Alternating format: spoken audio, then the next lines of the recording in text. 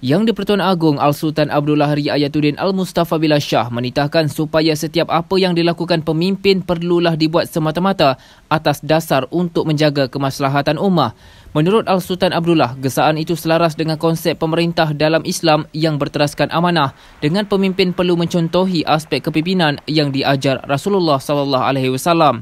Baginda bertitah pada majlis sambutan Maulidur Rasul peringkat kebangsaan di Dewan Merdeka, Pusat Dagangan Dunia WTC di Kuala Lumpur pada Ahad. Yang turut berangkat Raja Pemasyuri Agong Tunku Hajah Azizah Aminah Maimunah Iskandariah.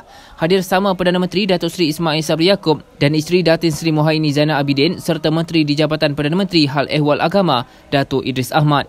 Pada masa sama, Yang di-Pertuan Agong menekankan kepentingan mewujud dan menjaga hubungan erat di antara pemimpin dan masyarakat selaras ajaran Nabi Muhammad sallallahu alaihi wasallam. Baginda mengajar setiap pemimpin untuk pertamanya menetapkan niat yang betul.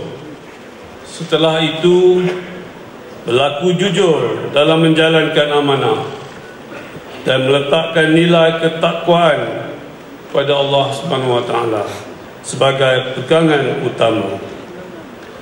Konsep pemerintahan yang dituntut Islam adalah merupakan satu amanah yang sentiasa berada dalam ruang lingkup ikatan perjanjian di antara manusia dengan penciptanya.